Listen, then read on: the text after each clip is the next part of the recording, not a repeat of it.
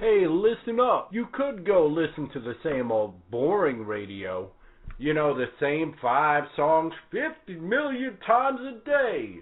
You could zone out to your favorite MP3 till can't get that ringing out of my head. I'm sure you heard all the drone podcast mumbo jumbo. I'm here to do my radio show. Don't you deserve more for your hard earned money? On Teal Time Radio, you get entertainment value. We take pride in our shows and don't release junk you won't find anywhere else.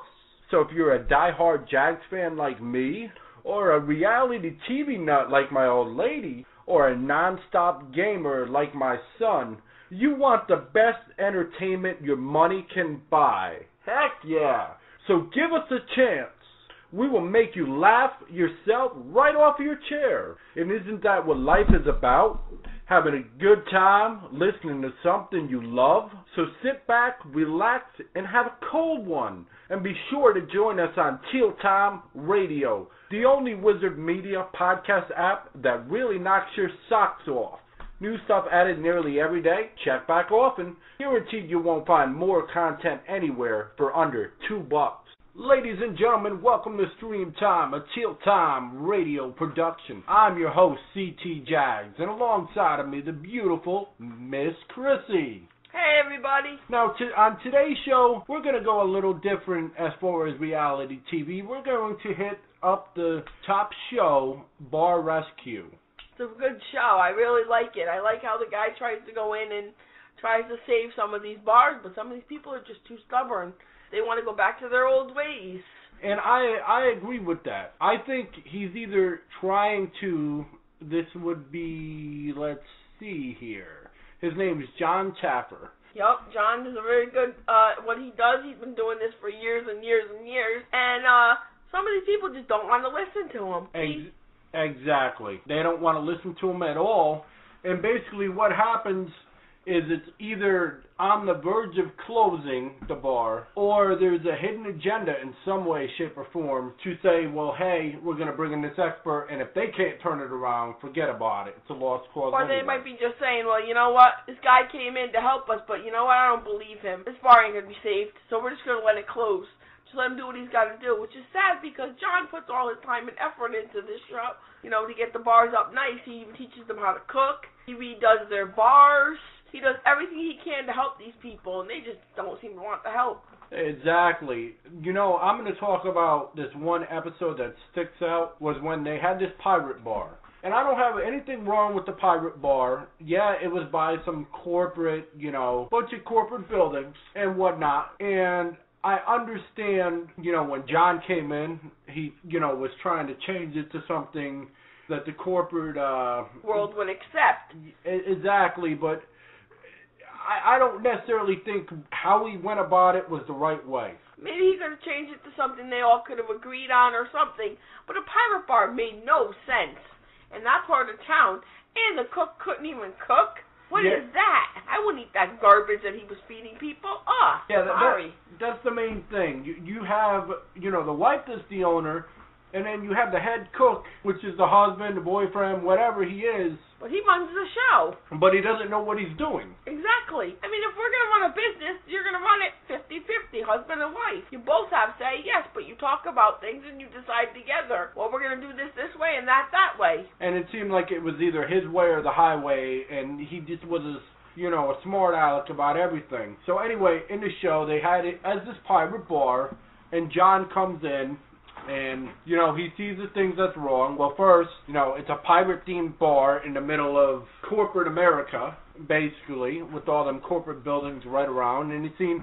You know, it had a lot of potential, but as every show has showed, has shown, that even though you bring in the right people and you try to train people to do the right thing, if people aren't willing to listen or aren't willing to, you know, sacrifice, which the lady stated, you know, from the get go, she wasn't willing to change. At that point, I, me being Jon, I would have pulled out and I said, would forget it. just pulled the plug, exactly. I would have said, you know what?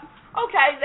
Your bar's closed as of right now. End of story. I'm not wasting my money, they wasting my time, nothing. Exactly, because it only ended up a health code violation anyway. Exactly. It was the most awful food. It was dirty looking. That bar looked nasty. If I walked in that bar, I'm sorry, but I would have walked right back out. Did you see how dirty that bar looked? It was crazy. That It- kitchen was nasty. Ugh. It was absolutely crazy. It gave a new meaning to, you know, dirt infested. I don't even know how it stayed open as long as it. I'm surprised they don't have as it did. cockroaches. Never mind dirt. I'm surprised there weren't cockroaches in that place. Exactly. And it, the funny thing is, you've got the bartenders that don't know how to make drinks. You've got the cooks that don't know how to make food, and then you run in this thing, you know, saying pirate theme. Yes, Yahoy and all all this, and even got people in character. That's wonderful, but they had it didn't seem like they had much customer service experience This is either. not Disney World. That's a Disney World thing. Disney World would be where the pirate theme would fit in with Captain Hook and all of that. But this is definitely not Disney World. Come on, really, people? So anyway, you know, Jon comes in, he does the best job he can, and you know they're not willing to work with him. They hire a new cook because evidently the husband or the boyfriend, whoever the heck he is, just can't cook. So they have him running, you know, running back and forth from the tables and everything, and he's not happy with it. And I understand that is, you know, it's his own his own thing, and you know he can feel disrespected and whatnot. And who that are these people, you know, trying to change us. But at the same token, I don't understand why he was unwilling to change at all, why he wouldn't pick up a cookbook or something. If I would have asked Jon to hire somebody to help me then. I don't know how to cook. Teach me so I can make everything good and have people enjoy my bar. And then if I wanted to go back to the the, the pirate team, thinking it works for me, at least you know how to cook better. I think the main thing was he just liked the fact of being in charge. He liked the fact of that he can order people around and everybody was his lack. Even though he didn't know what he was doing, he didn't know how to run things. He had no idea, and she really should have just left left his butt somewhere. Exactly. I have sent him back where he came from. Or you know, at least you know keep the relationship. But I mean, Jon Jon made a valid point. You know, supposedly the lady was in the you know in her parents' basement. Exactly. You run a rest, restaurant. You you gotta have more for yourself than just being in, a basement. Uh, You gotta at least want your own house, your your own something. You know. I mean, God, even I want my own house someday. I don't want to have to live in some. I don't want to live in somebody's basement. I don't live in anybody's basement, but I wouldn't want to if that was me. Heck no. I'd be like, I'm buying my own house, something. But he made the business go down even worse. So so anyway, a long story short, Jon, you know, changes the whole aspect of the thing. Now, I understand what he did as far as changing, you know, the bar from, you know, the Pirates bar to, you know, corporate bar and grill because of all the, you know, different offices around the area. However, he really, in my eyes, didn't really need to change it to saying the word corporate. I think he could have still had a pirate theme if he was willing to work with them. You know, on some nights, like they could have had a pirate theme on one night, and they could have had, uh, you know, maybe a, a cop theme on another night, Yeah, or make it more interesting for the people. Yeah, I agree. exactly. Exactly. It just didn't make any sense to to me. It seemed like Jon was tired of their, you know, crap and he wanted to do what he wanted to do to, Yep. you know, increase profits and show, you know, the rest of the world, well, either this bar, you know, is good or it's trash. Exactly. But Jon should have worked with them more and said, hey, guys, how can we do this so that we're all happy and that we can run a successful bar? Like you said, I think the theme thing would be cool because if I was living in that area and I heard of a bar that had themes every night, a different theme, I'd be like, wow, I want to go there and see what theme they're going to have tonight. Yeah, exactly. Exactly. Even if during the week, you know, during lunchtime you keep it, you know, corporate and whatnot. Yeah, during the week, during lunch, exactly. Keep it corporate. But on the weekends, especially not not maybe even not in the afternoons, but maybe at night. You know, every night have a different theme for like a Friday night, Saturday, and Sunday night, or you know something like that. Why couldn't they change the name in my eyes to like Pirates Bay, Corporate Hangout, or something? Yeah. Something that you know keeps the pirate name, but I do understand as far as profit wise, there really is no use for a pirate thing in the middle of a downtown where it's not all you know crazy and with different types of people. This, you know, this wasn't New York. This wasn't California. This I was wasn't just thinking Vegas. that, right? Vegas, it would have been fine, or or New Orleans, or somewhere like that. Even they do kind Orlando of with like yeah. the Universal Studios and everything. That's what I'm saying. This isn't Nor- this isn't Florida. You know, that's a Florida theme. I mean, or a California theme for their, you know. Maybe, maybe they should have just, if they weren't happy with what was going on, maybe they should have just relocated. Maybe. Or talked to Jon and went to Jon to begin with and said, Look, Jon, you know what? I'm not happy with it like this. Can we do something so that everybody's happy? You, me, and corporate America. And and the thing is, the ones I feel sorry about are, you know, the wait staff that are busting their tails to adjust the things and trying to follow the right things just for Jon to change everything, and he changed it real nice. But after Jon leaves, two days later, from what I'm seeing, is it resorts back to the same old, Yep. which which basically states, you know, which is the case in most of Jon's shows. You can you can soup up any car, but if it's a lemon, It's gonna stay a lemon. it's going to remain that way. Exactly. But you know what? That's a kick in the butt for Jon. That he, you know, he went to all this uh, trouble to help them, and then they did that to him. Well, that's kind of a kick in the butt, you know. Yeah, I agree. I agree. It's absolutely crazy. You know what though? I seen a different episode where uh they had this like uh tiki bar. It was I forgot the name of it at the time, but it was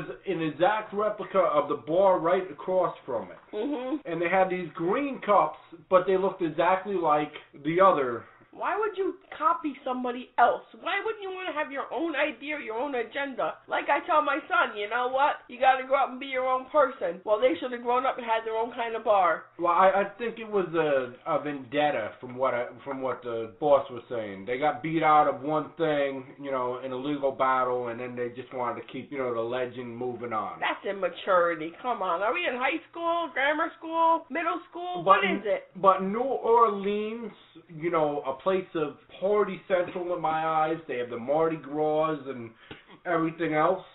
There's a million other themes in in in, uh, in New Orleans, you know, that you could have used. I like what that's what it came out to be though, where he made those blue cups with the blue drinks. Exactly, and they sparkled and they lit up and everything. Yup, and everybody said, "Well, where'd you get those? I want one of those." And then they had the old barber chair, Exactly, and they they use that as a shot shot, shot glass chair. Yup, and all the teenage, of course, you know, all the teenagers come down there for spring break or whatever. They're in those that shot chair getting those shots.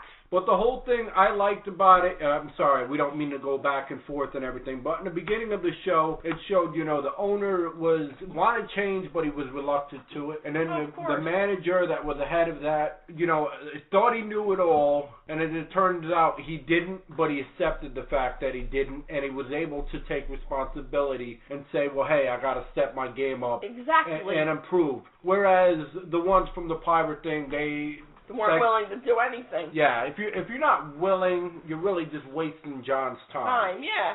At least at the other bar, the tiki bar, they at least were willing to learn how to make different drinks, and they were willing to change the name of their bar and, and you know step it up a little, which is cool. And it was something, you know, simple. It was a simple menu. But really, when you go out to a bar, you're not really looking to get a full course meal anyway. No, when you go out to a bar, you want you know have drinks and maybe a little appetizer, and that's it. You're not gonna eat a full meal. Nobody's gonna keep drinking if they eat a full meal. You have an appetizer, then guess what? You still got room for drinks or shots or whatever. Exactly. And I mean, if they do have, you know, some kind of meal, if it's something small like a sandwich or something. Oh yeah, that's different. Because everybody does, you know, get the munchies, or most people do when they're, you know, drinking Right. and doing whatever they're doing. Well, who wants to have a full steak, potatoes, and vegetables, let's say, and then go drinking? No, that's too much. Yeah, somebody would puke.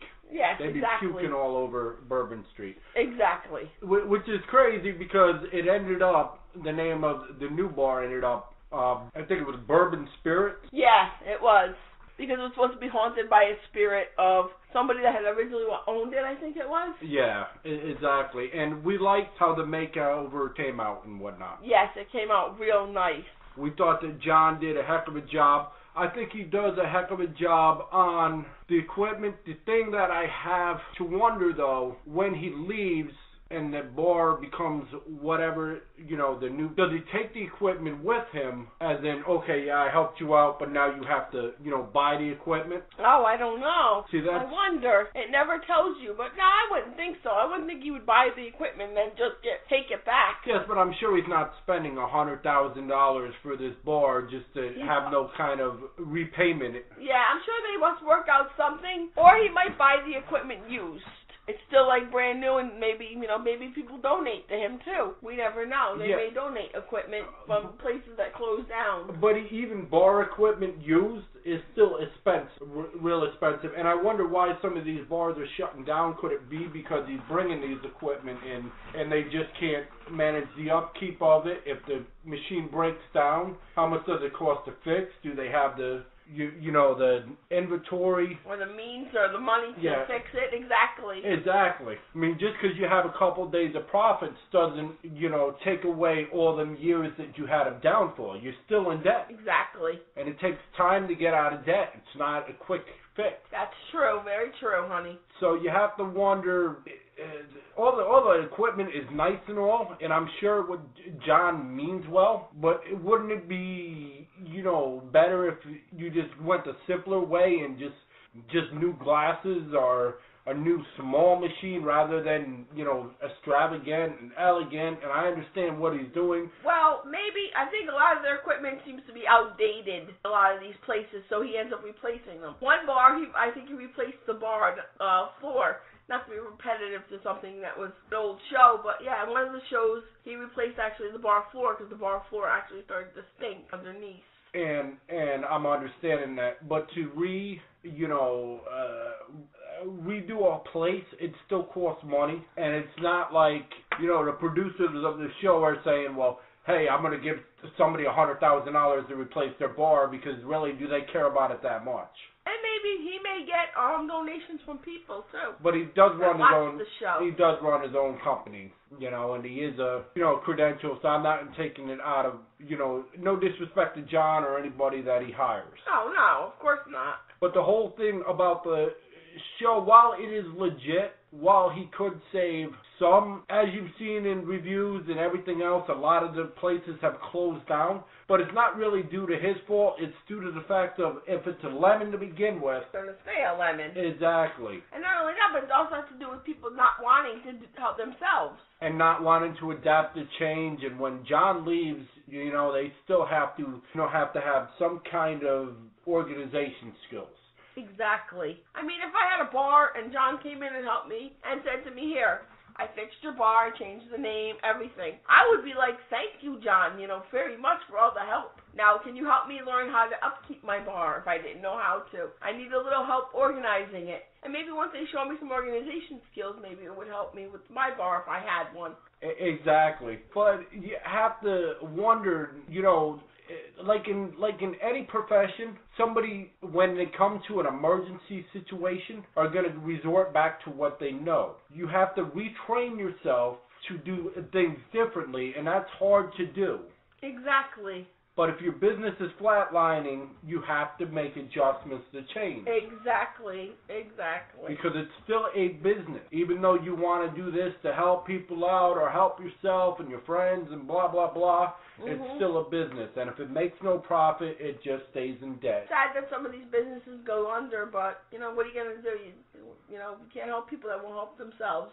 So the moral of the story is while you know we love both love the show, I mean I'm addicted to it every time that it comes on. I'm just sitting in front of the tube and just Yeah, watching it, and I'm just amazed at the work he's done. You have to keep in mind that in reality things take time, things take effort, and if somebody's not willing to put 120% after being taught something to change, it will not, you know, prosper. Just because you had a few days of, you know, great work is wonderful, but once them top chefs and top management leave, it's down to you. And if you, you know, running your own business, and this is maybe a message to small business owners, Exactly. you know, you need to come up with your own game plan to keep it afloat and keep keep it from going sour. Exactly. My father owns his own business, so I know what goes into a business. I'm watching him from the time I was a small child, so I know what goes into a business. A lot of hard work, a lot of Real hard lot work. of hard work, a lot of hard work, a lot of missed weekends, missed birthdays, missed Christmases, missed holidays, you know? You Yeah. have to work. A bunch of dedication. It's just dedication, hard work, and for the most part, you know, the profits only come a-